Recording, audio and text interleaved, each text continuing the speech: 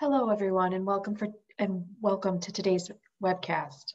My name is Amy Brown, and I'm the Director of Events and Education for Trade Press Media Group, which includes Building Operating Management and Facility Maintenance Decision magazines. Today's webcast is COVID, Return to Work Planning, Airflow Testing, Spatial Mapping, and Surface Testing. Our presenters today are Shirley Thomas and Sid Likes. Sid has spent 20 years managing facilities before joining OpenWorks in 2018 as Regional Operations Manager. Sid is responsible for all aspects of operations and works with the district's managers to ensure quality control and adherence to open work standards. Shirley has over 25 years of safety and health and environmental experience within manufacturing, construction, hospitality, aerospace industries, and her experience includes safety management systems, industrial hygiene, and compliance management. Today's webcast learning objectives include a discussion on why airflow qualities and quantities are important. Learn how role spatial mapping plays into your return to work program. Review how airflow impacts spatial mapping and discuss why testing surfaces for COVID-19 and other viruses is important. All great conversation topics for today. But before we get started with the content, I'd like to go over just a few details with you. A live question and answer session will follow today's presentation. To submit your questions, please navigate to the Q&A button at the bottom of your screen and type in your question. You might have to just hover over the bottom of your screen for that Q&A panel to, to uh, become visible. Our presenters will answer as many questions as time permits. Today's event will also include some multiple choice polling questions. We'll give you instructions when those come up during the presentation, but we do ask that you participate as your input is greatly appreciated. At the conclusion of today's webcast, you'll receive a PDF copy of the slides.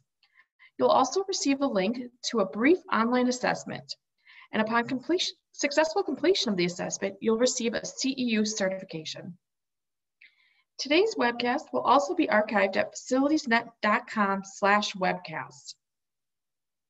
Now, I'd like to turn it over to Shirley, who will tell you more about what we've, we will be discussing today. Shirley? Well, thanks so much, Amy, for that introduction. Appreciate that. It's my pleasure to be here. Today, we will discuss employee and organizational expectations and responsibilities in a post COVID world. Um, during our presentation, we will discuss the importance of maintaining um, or having a return to work plan, which should include maintaining good air quality. Your plan should include social distancing, spatial mapping, and also cleaning and disinfecting protocols. Um, you should have a maintenance plan as well, and we'll get into the nuts and bolts of that plan later in the later in the presentation. Um, we will then follow up with information on our companies, Yellowbird and OpenWorks, and um, end with a Q&A. Next slide, please. Okay, so before we get into the plan, um, I would like to proceed um, with doing a question. Um, I would like to take a moment uh, for you to answer a question um, concerning COVID. So, do you have a current COVID return to work plan? So, you can let me know by participating in our poll. Should be up there. Yes, and Shirley there should be a box that popped up in your window, so feel free just to answer based on the correct response you would like to give. We'll give it a, just a few minutes. Absolutely.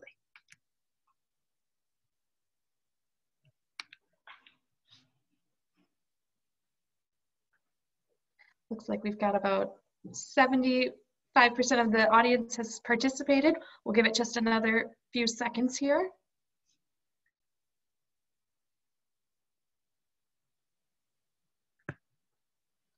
Right, we'll end the poll and give that over to you.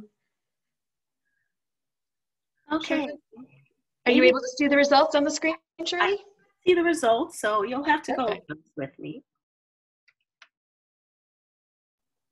Oh, sorry. Uh, so we currently have 82% uh, of the audience, or 119 people, said yes, they do, and 18% uh, said no, they do not. So 27 people said no, they do not.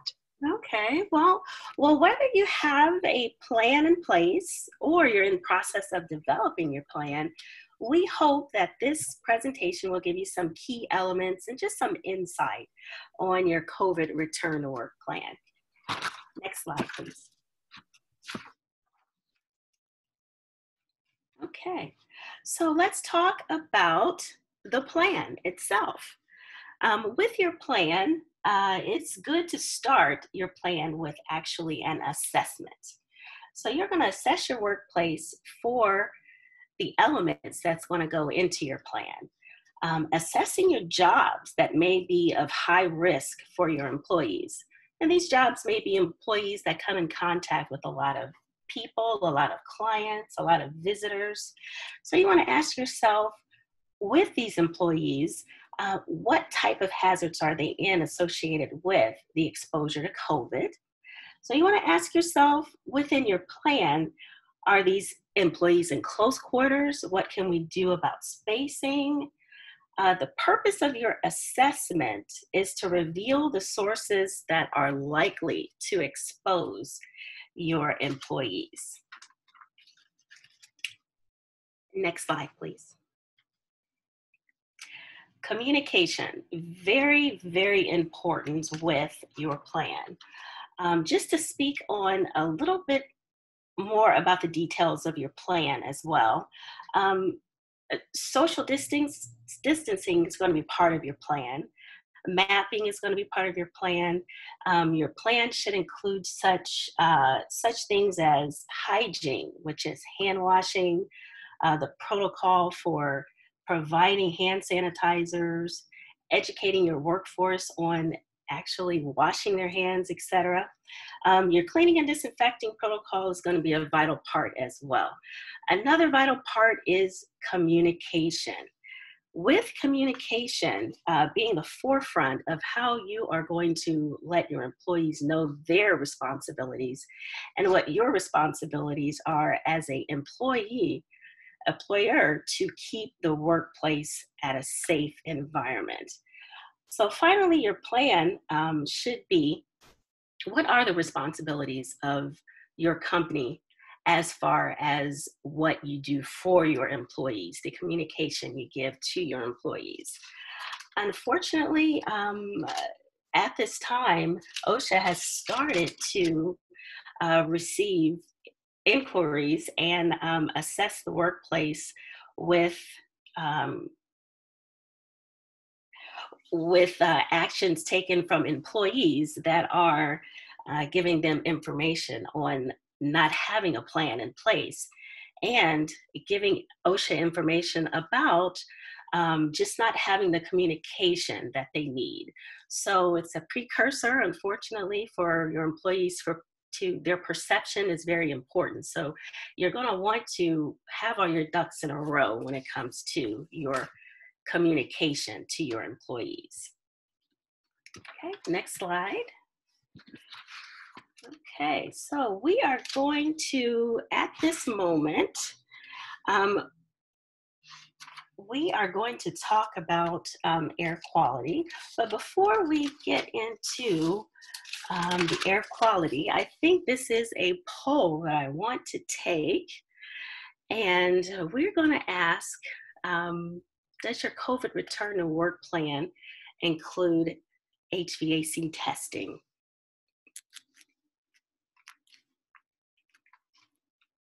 So Amy, you can start the poll. Yes, it's popped up on people's screens, so we'll give you a few seconds here to respond to it. Again, it's uh, the question on the screen is, does your COVID return to work plan include HVAC testing? Two options today, just a simple yes or no.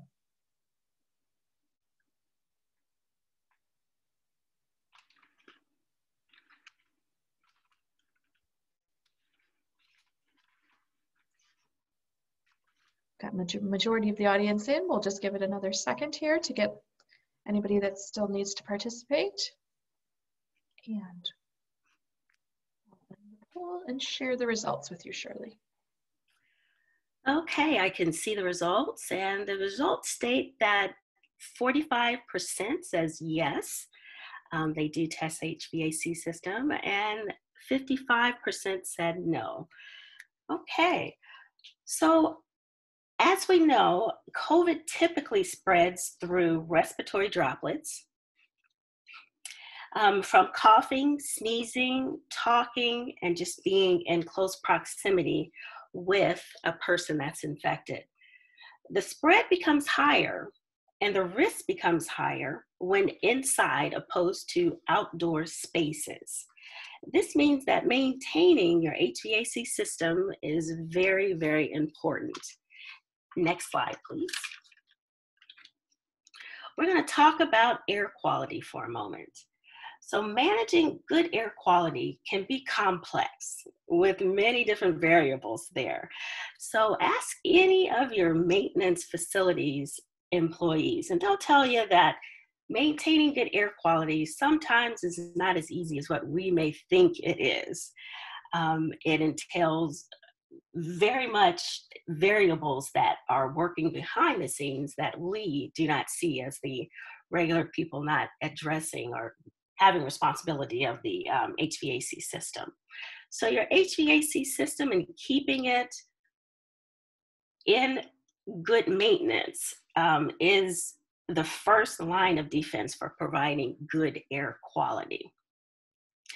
In a post COVID world, the HVAC system may need to be reassessed, and it may be reassessed or the need to reassess your HVAC system may come in the form of your air changes per hour, um, testing the air changes and how that correlates to the manufacturer's instructions. It may be upgrading totally your HVAC system um, in this post COVID world we live in. In addition to that, you can increase or you may have the capability to increase your airflow changes, or you may be required or be required to increase the filter efficiency um, of your HVA system. But no matter what changes you make to your uh, air quality in your HVAC system within this post COVID world that we live in now, um, we must be cognizant of the manufacturer's of responsibilities and what the manufacturer says the capability of your HVAC system is. Um, unfortunately, sometimes we want to take our workplaces and um, demand that the HVAC system be at a hospital level, um, but that is not a necessary function uh, sometimes of our workplaces uh, because our workplaces are not hospitals. So we want to make sure that we get a clear um, cut understanding of what the manufacturers are telling us that the work uh, flow of our HVAC systems are. Next slide. A vital part of assessing how well the HVAC system is is to perform and do air quality checks. Um, periodic air quality checks, um, you're checking the airflow. You may want to check the carbon monoxide, carbon dioxide levels, and checking the air changes to see how efficient you are uh, running your HVAC system. Um, with that, the humidity levels as well. Um, all of these things can tell us how well our HVAC system is working. So if these levels are out of whack, if it's too much humidity in the room, um, if the airflow is just not uh, testing at the manufacturer's uh, rate, well, then that could be a precursor for our HVAC, HVAC systems to actually not be working properly. So we want to do those checks and make sure those checks are in place. Next slide, please. So one element of your plan should be spatial mapping. Initially, spatial mapping, just to give you a little bit of information about the history of it, was very important to hospitals and medical facilities. And spatial mapping is actually very, very mathematical and is very scientific. Um, and these equations were used in hospitals to basically uh, let the hospital population um, know how many people could be in a room with a certain type of illness, etc. So it's very, um, very technical and scientific. However, next slide. Spatial mapping, as we know, and as we work in our workplaces, are a little bit different from initially the scientific data that's put out there by the hospitals and why hospitals need that. So our spatial mapping within our workplaces is going to look a little bit differently, but the guidelines set by the CDC and the importance of the end means for why you need to space to spatial map and plan that out is very important for us in our workplaces. Components of our spatial planning and mapping is going to be limiting the number of people in a place or in a room or in an office. If you can stagger shifts or have people work from home, the more that you can do to limit uh, the employees within a opens within a space within inside of the facility is going to be best. So you want to review how your facility is set up. You want to review how your workplace is set up so that you can make those modifications and if modifications can be made. Within the spatial mapping, you're going to want to make sure that you have things that are in place, such as um, the social distancing, which is that six foot requirement um, for people to be distancing from each other. You want to make sure that you define areas that are off limits uh, within your workplace, and you want to make sure that the flow of your traffic um, is adhering to a spatial mapping plan. And what that means is with a within a post-COVID world, we may have to have one way into a facility and one way out, which means that um, the traffic flow of the way that people will enter and exit our facilities will be a little bit different um, post COVID. Next slide. PPE is essential um, as we know, PPE is just essential for us working in our daily lives, and more important in some of the higher risk uh, categories of work. Assessing PPE for employers is a necessity. We must provide that PPE that the employee needs. In a post COVID, um, as relating to COVID, the PPE, your general basic PPE is going to be uh, your face coverings, and uh, they can come in the form of a respirator, um, a dust mask, or any type of face covering. In addition to gloves and hand sanitizers, those are personal protective equipment post COVID related directly to COVID. However, depending upon the task of your employees, uh, you may have to have additional PPE that may be required due to COVID, and that may be Tyvek suits. You um, may have someone in the cleaning department, and post COVID, they will have to wear some type of Tyvek suit or some extra coveralls, or um, in addition to that, depends on the uh, chemicals that they may be cleaning with, they may need um, a, a respirator now that they didn't need before. So PPE is definitely important and an important aspect of uh, your plan that you're going to have. Next slide, please. An important aspect of returning to work from COVID is addressing how our organizations uh, will interact with our customers and visitors. As we know, our visitors and customers to our business is vital. However, during a post COVID, um, work environment, uh, we may want to limit visitor accessibility into our facilities. Uh, we want to make sure that we track our visitors, um, make sure we know when they're there, make sure that they're accounted for when they're there, um, ensure that our visitors and our vendors that come to our sites, ensure that the proper PPE um, is worn by them as well as our employees. In a post COVID um, world, we see that uh, sometimes, um, for instance, I, I went to a grocery store yesterday and we have to have a mask here where I live.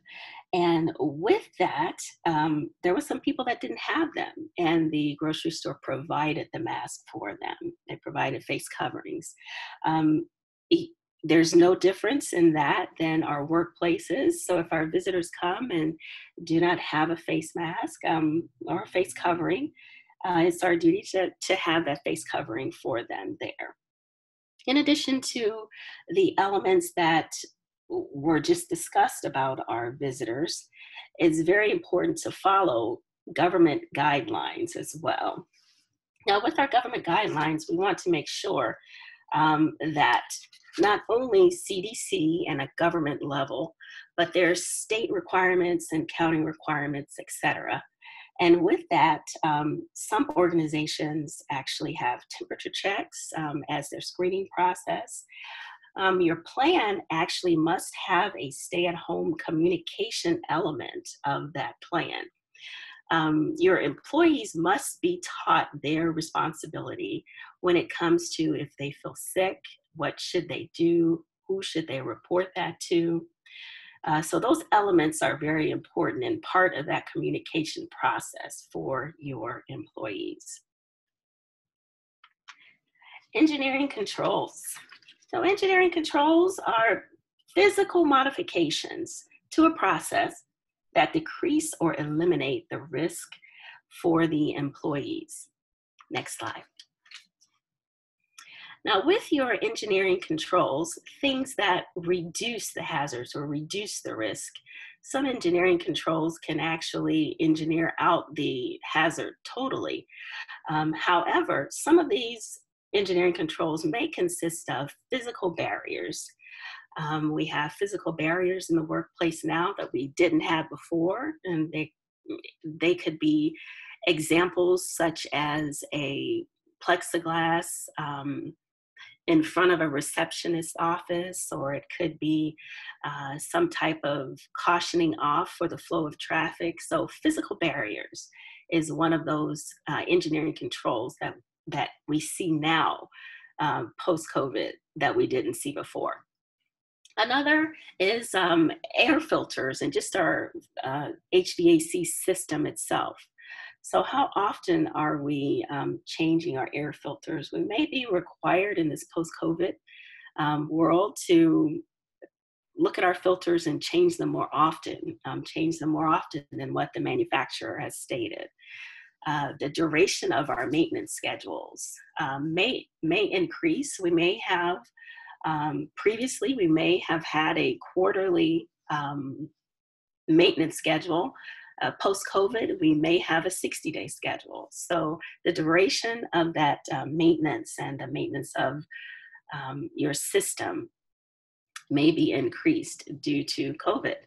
Um, in addition to spatial mapping, of course, uh, we have the social distancing. Um, these are just elements that are part of implementing engineered controls. Next slide, please. Surface testing. Um, surface testing uh, can be an added value for your COVID plan, uh, which may increase employee positive perceptions in the workplace. Um, OSHA's number one uh, complaint uh, currently, right now, is from employees and their lack of understanding of what has been put in place.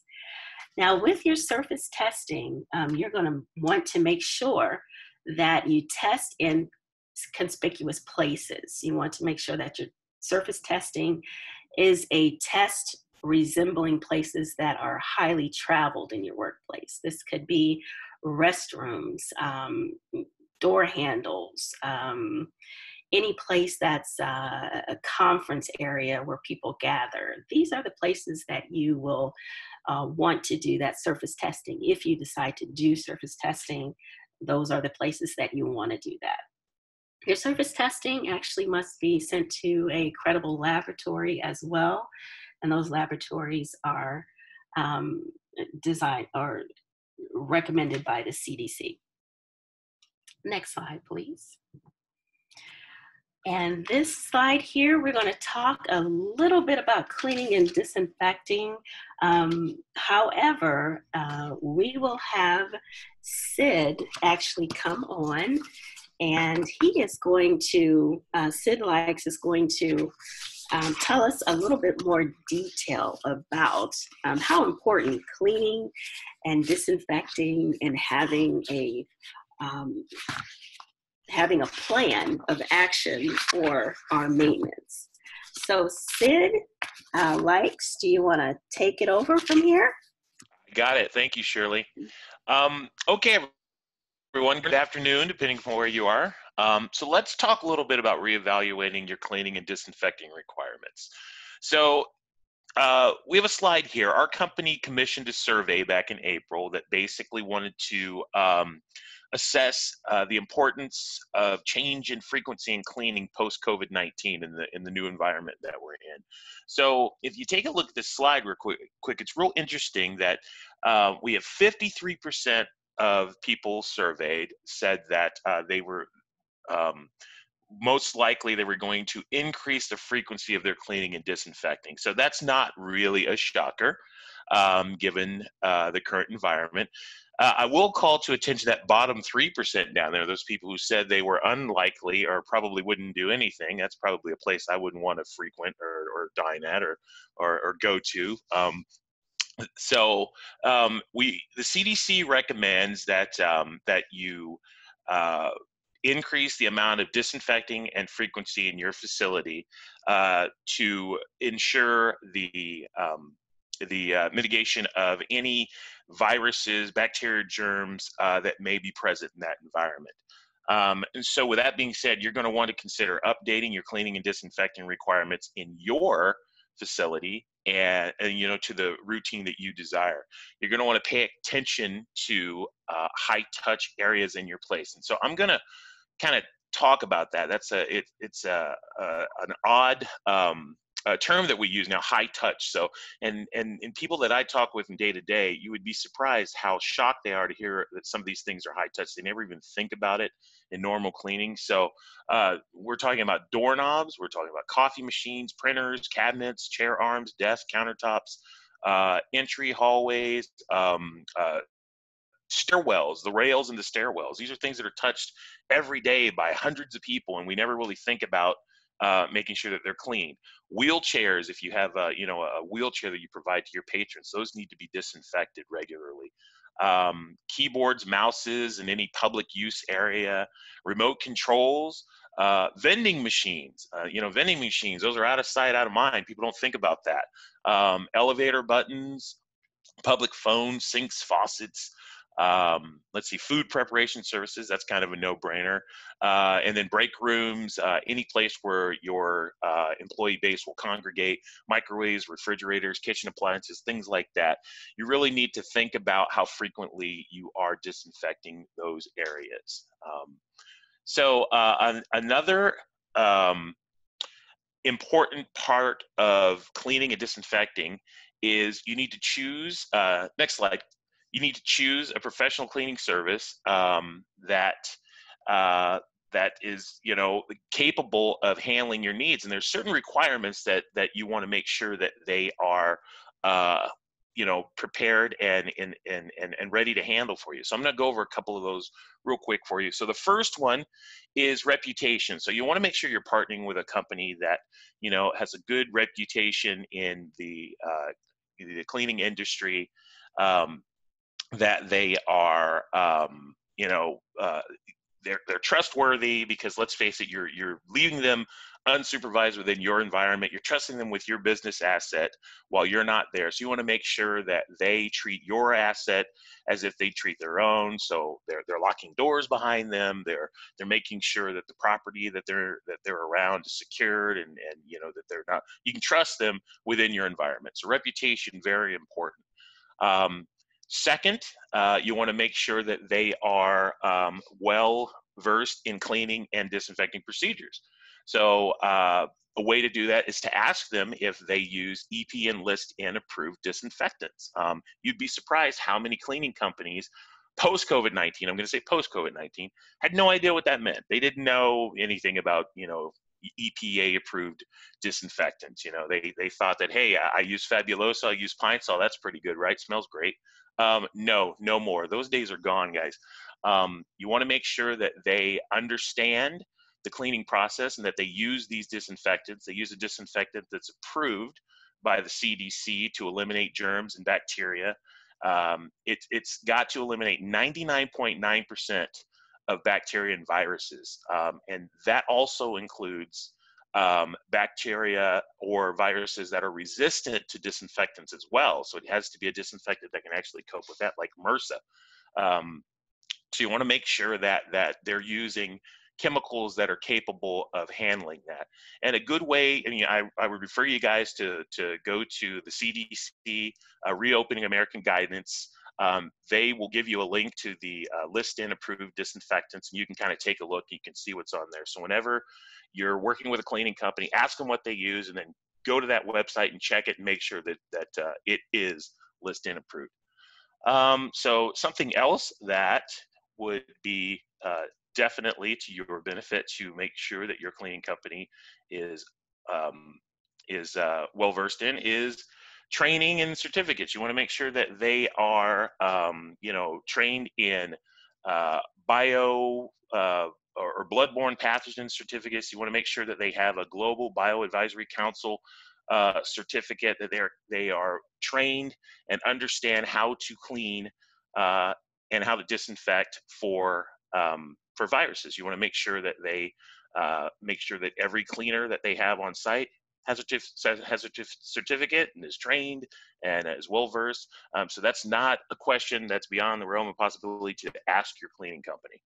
Uh, something else you want to make sure that they have uh, experience in the industry. That's a no-brainer, right? Um, so depending upon what your particular needs are, you know, uh, if it's you know goes beyond the scope of just an office or a bank, you want to make sure that they are well versed in cleaning in that environment. If it's if it's a lab or if it's a, a hospital or um, let's say it's a production facility that has its own amount of challenges, you want to make sure they have experience cleaning in those environments. Uh, and then uh, lastly, communication. You want to make sure that the company that you partner with um, are good communicators that they use logbooks that they actually reach out to you and and and, and make sure that uh, that uh, that the service they're providing is meeting your needs that and also let's say something goes wrong you want to make sure that they have the ability or they have an internal process for you to get a hold of someone after hours. Um, most of the cleaning goes on after hours and, and there might be an emergency there might be an issue you might need to reach out to someone well you know there's nothing worse than having an emergency and getting you know we'll be with you uh, you know at seven o'clock in the morning. Okay well that's not really going to help you at that particular time. So you want to make sure that they have a plan in place that addresses after hour issues and that you can get quick and immediate responses to to uh, anything that should arise. Um, so with that being said let's talk a little bit about the process here uh, cleaning and disinfecting uh, and deep cleaning. So um, this is this is extremely important. Um, there is a difference in cleaning and disinfecting. And so after dealing with COVID-19 for the last few months, uh, me personally, um, I, I, can't stress enough to, to, to customers and, and the employees that I come in contact with the difference in making sure that others understand that difference. So I'm just gonna cover that real quick. So cleaning is the physical removal of dirt and debris um, on a surface in an environment. So that's basically uh, sweeping, it's mopping, it's wiping a surface down, it's just removing the dirt, the debris, okay? Once you've cleaned something, that doesn't necessarily mean it's disinfected, okay? I mean, you can clean something with soap and water, that doesn't necessarily disinfect it. Disinfecting means that you have removed 99.999% of all the bacteria and viruses on that surface. So that's the second step. Um, you cannot disinfect something without first cleaning it. Um, if you disinfect something and you haven't cleaned it, all you've done is disinfected the dirt. Um, so that's probably not a clean environment because as soon as the dirt gets disturbed, the surface underneath that dirt is not disinfected. So you want to make sure that your cleaning company understands that. That's just that's that's just extremely important. I can't stress that enough. Um, so next slide. And this slide talks a little bit about, um, you know, we had a survey. Uh, we wanted to, to kind of gauge and understand the importance uh, from our customers, the importance of visuals of disinfecting in their facilities. So um, just real quick, I wanted to kind of talk about that. So if you see here, you've got, we've had 88% of people that were surveyed here um, place a huge importance on training for their employees. They want to make sure that their employees are trained because let's face it, the, a healthy and safe environment starts on the individual level. It's the practices, it's the knowledge, it's the um, it, it's how we conduct ourselves as individuals within an environment uh, on a day-to-day basis that that basically kind of sets the tone of how healthy and safe the environment is. So, 88% of the people we polled placed a lot of emphasis on training and making sure that the employee understands what's expected and, and, and how to do their part. So that being said, 72% of the people polled uh, placed a huge importance on signage, making sure that they uh, were calling out certain areas and, and calling out um, uh, protocols and, and, placing signs in and just uh, using constant reminders and also letting people know that things have been disinfected that if you know a surface has actually been disinfected actually placing a sign and letting people know that this area right here has been disinfected at you know at, at this time or, or, this day or it's been done. Uh, and then we have 66% or 66.5% of employees of, of, of, people who said that they want to make sure that they uh, that there's a visual that the the customer sees the employee or the cleaning uh, company actually cleaning because that gives a great impression that this is actually being done. There's nothing that's more reassuring to you that cleaning's being done than actually seeing someone actually cleaning. That, that kind of takes away the doubt 100%. Um, so with that being said, uh, I'm going to transition it back to Shirley and let Shirley talk a little about about maintenance plan, and then we're going to get into some Q and A. Okay. Well, thanks again. And your your maintenance plan. Uh, we are speaking on the maintenance plan of your HVAC system, HVAC system, and with that maintenance, um, you want to make sure that number one, uh, your HVAC system is working at the um, increments of what the manufacturer um, has stated it should be. Uh, with your maintenance plan, uh, you may have to uh, incorporate again um, new changes as far as what you do with your maintenance plan, as far as the cleaning schedule of your your coils, your changing schedule of your filtration system, your filter system, and um, in addition to just maintaining uh, your your maintenance plan, you're going to want to review that plan. Um, is your maintenance facility, is your maintenance plan, your HVAC system, uh, is it, um, has your building changed? Um, do you need to upgrade your system? So these are things that within this post-COVID, uh, we are looking at and addressing and assessing to ensure that these particular things are working um, and in place and in plan. Next slide.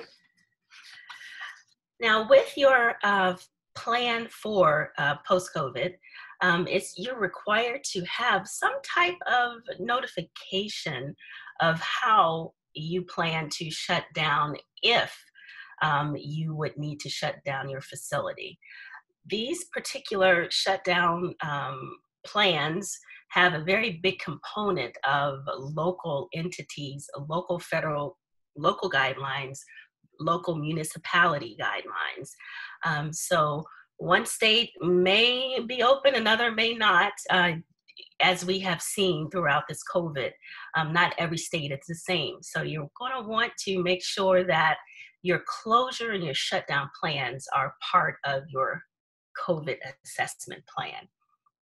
Um, def- reassessing your whole entire plan is something that you should be doing on a regular basis. But because of COVID, um, it should be expedient that you reassess your plan. Just reassess where you are. If your plan needs to be updated, um, absolutely be cognizant of what updates you should have in there.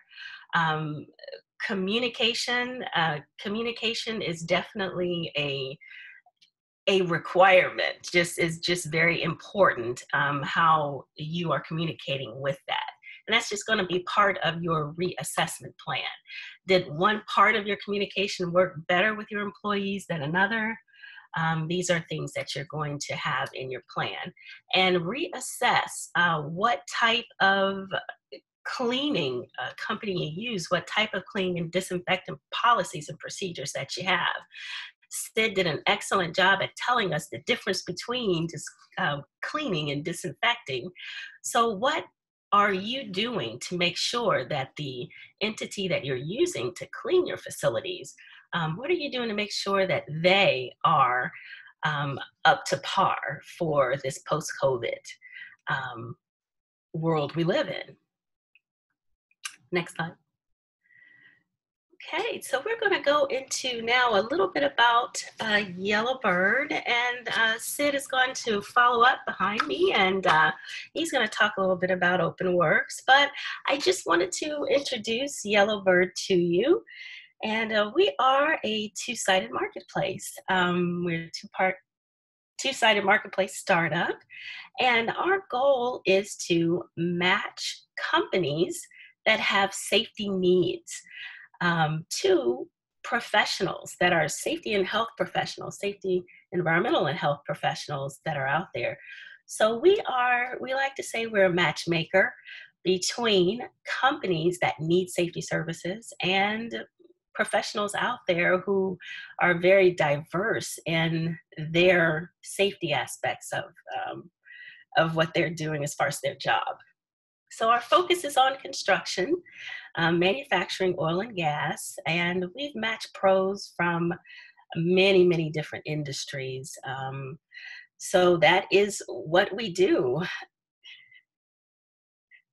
Next slide.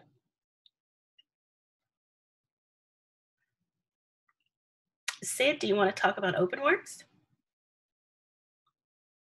I will. Thank you, Shirley. Um, so a little bit about OpenWorks. Okay. So um, we've been in business for 37 years. Um, we are a premier cleaning uh, company. And some of the uh, advantages of working with OpenWorks, OpenWorks, uh, our network of elite service providers, um, we bring together many different facets of the cleaning uh, process. Uh, we work with cleaning owner or company cleaning company owners that are dedicated to mutual success. Uh, we value uh, our partnership with our cleaning providers, and uh, our company facilitates um, HVAC cleaning. We we do, uh, as I listed, disinfecting. We do cleaning uh, in many different types of industries. We're well versed in, in, in medical. We're well versed in in production, uh, office cleaning, clean rooms. Um, we are we are kind of a one-stop shop. Um, you basically partner with us, and and you are able, uh, you know, tap into all of the resources that we have at our disposal. Um, with our uh, 98% retention rate, which is 43% higher than the company average, or the country average, by the way, um, we are able to pull together kind of a, a suite of, of resources that would absolutely meet your needs. So um, there's here's here's a here's a shocker here. We use uh, EPA approved disinfectants in cleaning. Um, we're well versed at, uh, at combating COVID-19 and SARS-CoV-2 and other bloodborne pathogens. We're certified. We're uh, certified by the uh, by OSHA. We're certified by uh, the, the uh, Global Biorisk Advisory Council. Um, we are, let's see, we are basically, as I mentioned before, a one-stop shop uh, care company. Uh, we have integrated facility services uh, to for single source for all facility needs. Uh, we have single point of contact for communication, uh, local service with corporate oversight. That's basically kind of our motto here. And we have high quality and we're extraordinarily responsive. So, uh, and we basically specialize in making sure that you have a cleaner, healthier, and safer environment. Um, that's kind of our, our mantra here. Um, let's see. Uh, also, um, you know, with today's environment, I'd like to talk a little bit about kind of our suite of services that we have available. So OpenWorks actually, uh, we have what's called uh, TotalWorks, which is our comprehensive suite of services, and it's developed um, uh, in conjunction and in partnership and recommended by uh, agency experts from the CDC and EPA, uh, and and with feedback from our OpenWorks customers.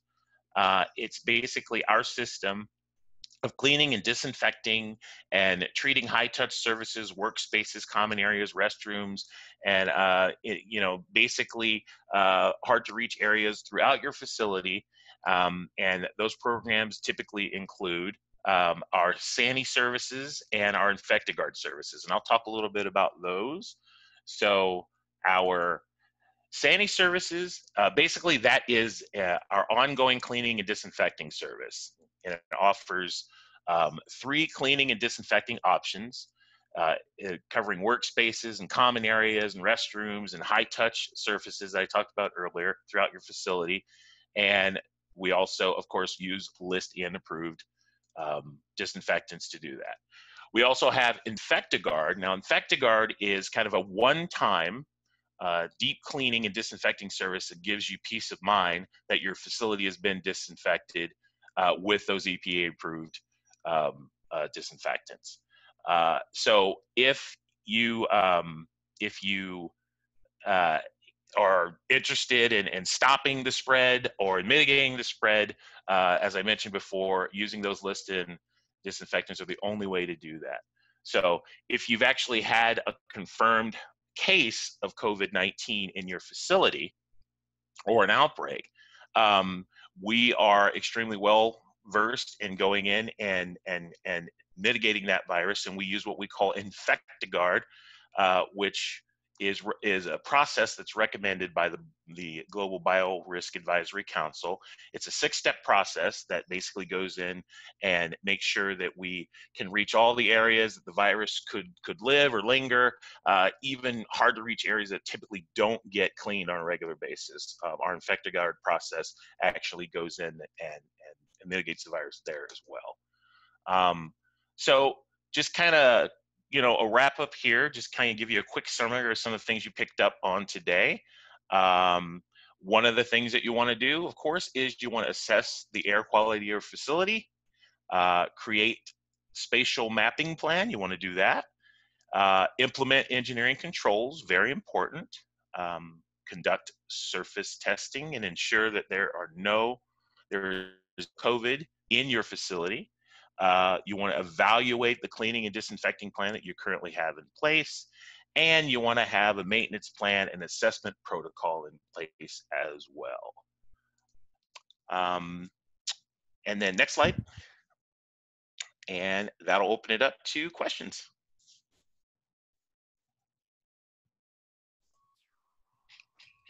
Thanks, Sid and Shirley. Um, let me see what we've got as far as questions for you um, the we re- oops sorry about that. We received um, one that says is as far as spatial mapping goes is is six feet the standard distance that you would recommend or um, in an office in a standard office environment I'll take that question. This is Shirley. Um, the six feet is the guidelines that we've been given, definitely by the CDC. And within an office area, um, those guidelines are not um, changed. Um, six feet is definitely the distance um, that, we've been, that we've been given um, to, to state what is an acceptable and lower risk uh, distancing between um, people. so yes, six feet. Even though you're you may be in an office area, uh, that is still applicable to um, how the uh, spread of COVID COVID is. Shirley, what equipment would you recommend for testing airflow and um, CO and CO2 levels? Uh, yes, there there are air um, monitors, and these air monitors um, basically can be um, uh, purchased, or um, you can have a company such as Yellowbird come out and um, uh, test your air with the uh, equipment that our professionals have, but your equipment to, t- to test the air, you will want something that will actually have a flow level meter there. You want to make sure that your carbon monoxide, carbon dioxide levels are um, at an acceptable uh, level you want to make sure that the equipment uh, can do humidity testing. So there's a variety of things that you can do as far as having that equipment. But um, Yellowbird, we do have professionals that can come in and do uh, your surface testing as well as your air testing for you with the equipment that we have. And Shirley, is surface and air testing a governmental requirement?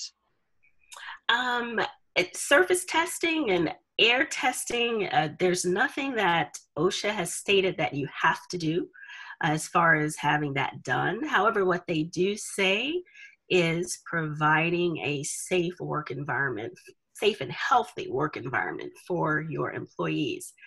Um, with air testing, you're testing the um, efficiency of your HVAC system. And with testing that HVAC system and its efficiency, um, that's one of the engineering controls that lowers the uh, exposure um, to COVID in the workplace. And it is intended to have good air quality. So, in a roundabout way, um, it's your due diligence to make sure, as a corporation or an organization, to make sure that you're um, providing a safe work environment.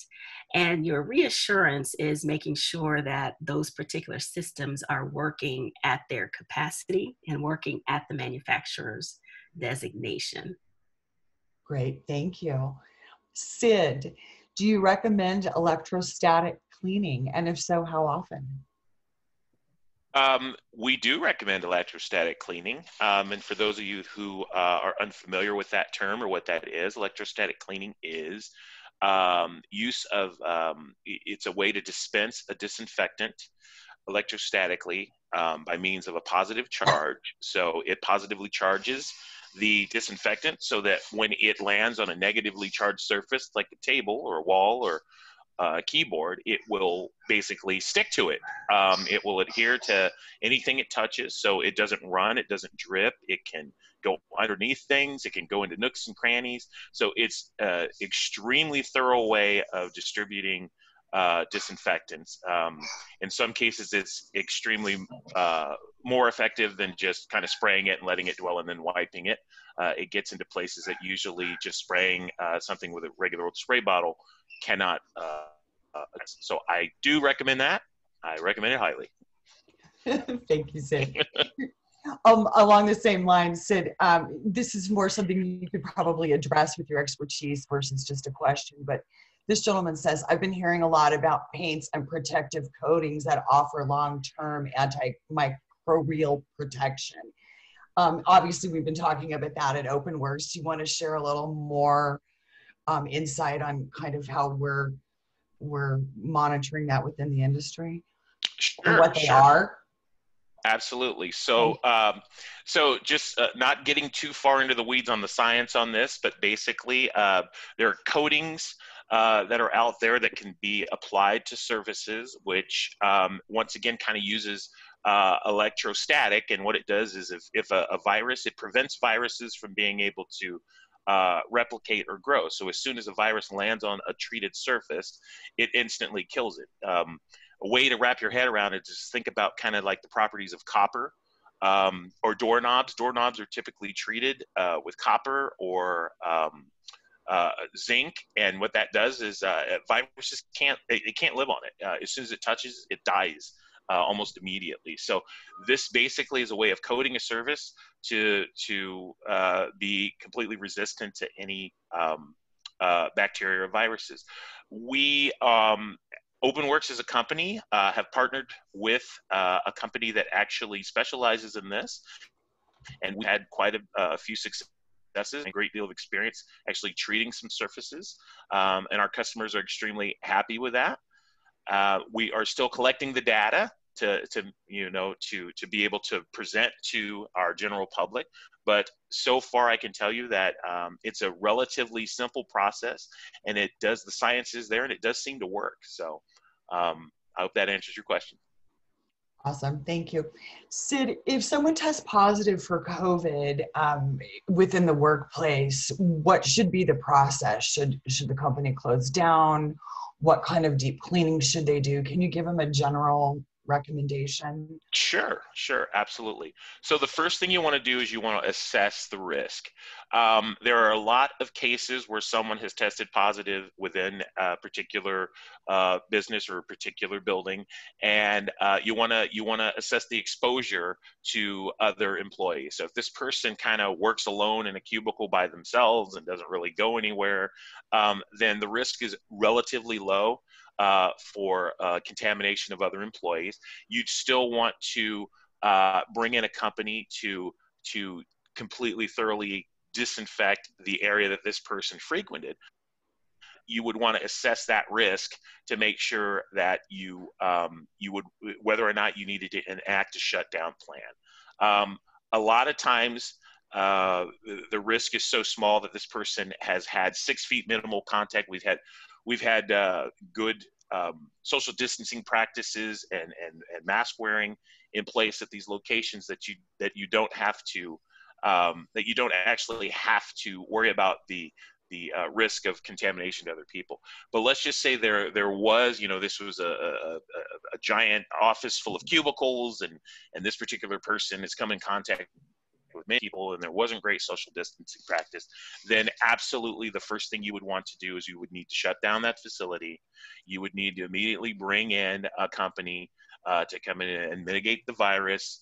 Uh, you probably would want to make sure that that company, or you would partner with a company that could go in and and HVAC as well, because this being a, uh, as we're, we're instructed not to call it an airborne virus now, we're, we're still uh, it's it's it's droplets, and those droplets can linger in the air for a period of time. So you you'd want to look at having a fogger or something that could, that could go in and actually treat the air. Air scrubbers. You'd want to have the the um, the filters changed. You'd want to make sure that you uh, had the, the HVAC cleaned and um, and any other surface that this person came in, in, contact with. So once again, it really depends on the level of exposure and your your step one assessment plan as to what you would enact after that.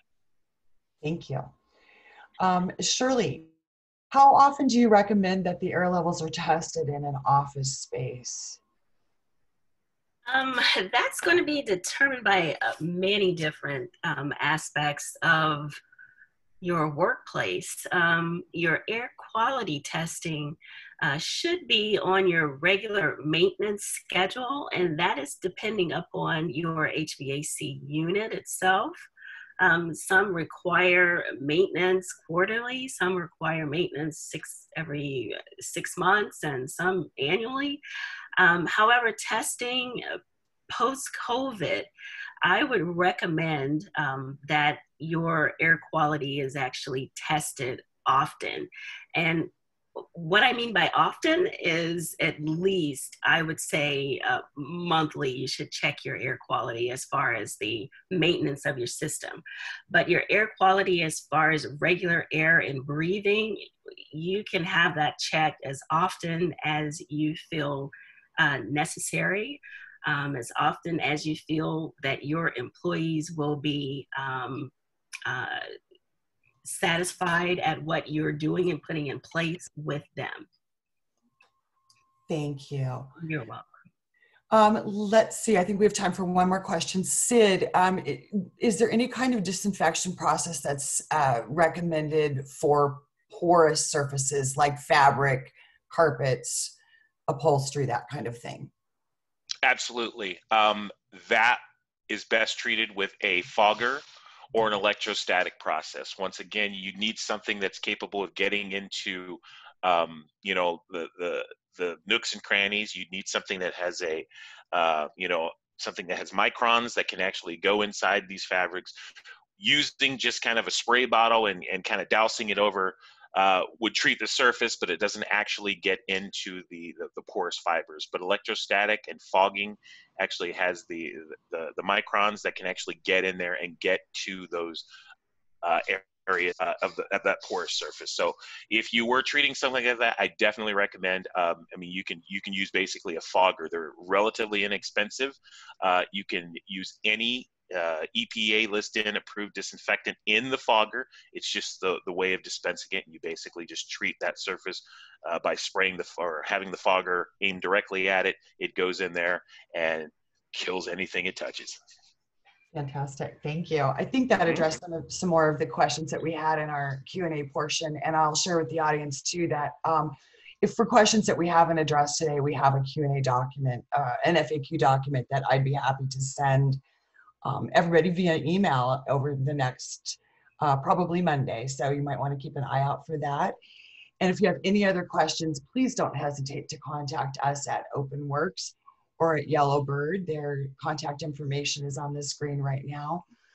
We really appreciate everybody's attendance today. And with that, we wish you a fantastic weekend. Great, and this is just Amy Brown with Facilities Net thanking once again OpenWorks and Yellowbird and uh, Shirley and Sid and Shauna for helping uh, present this information today. It was a great webcast. Just a reminder for our audience, you will receive an email from us after the event finishes here today with a link to the archive uh, as well as the presentation and the CEUs uh, for today's webcast if you need to earn CEUs for your participation today. So thank you again and hope everyone has a wonderful weekend.